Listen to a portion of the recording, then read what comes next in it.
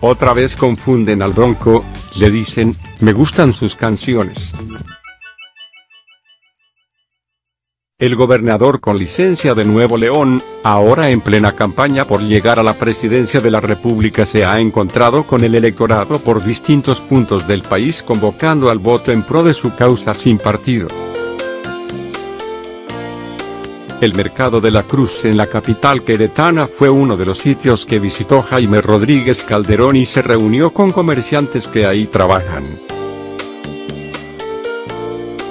Lo he visto en la tele, me da mucho gusto conocerlo. Me gustan sus canciones, dijo una mujer que confundió el seudónimo del candidato con la agrupación liderada por Lupe Esparza, Bronco.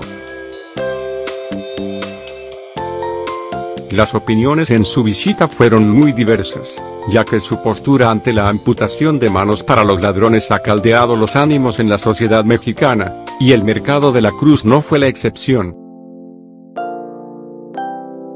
No solo la mano, queremos pena de muerte para todos los delincuentes, mencionó un locatario.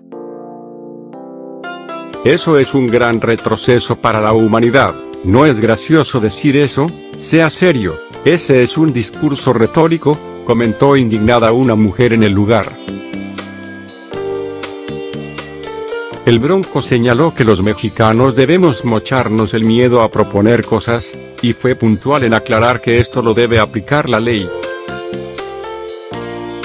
También apareció alguien que no le pareció la visita del Bronco, fue el señor identificado como Ignacio Guerra, y lo encaró con una pancarta preguntando si se mocharía las manos por robarse la candidatura presidencial. El pasado 20 de abril en Oaxaca capital ocurrió algo similar, una cantidad importante de personas se dieron cita en el sitio donde se reuniría con medios Jaime Rodríguez Calderón, sin embargo, la gente al saber que no se trataba de Lupe Esparza y su banda abandonaron el lugar.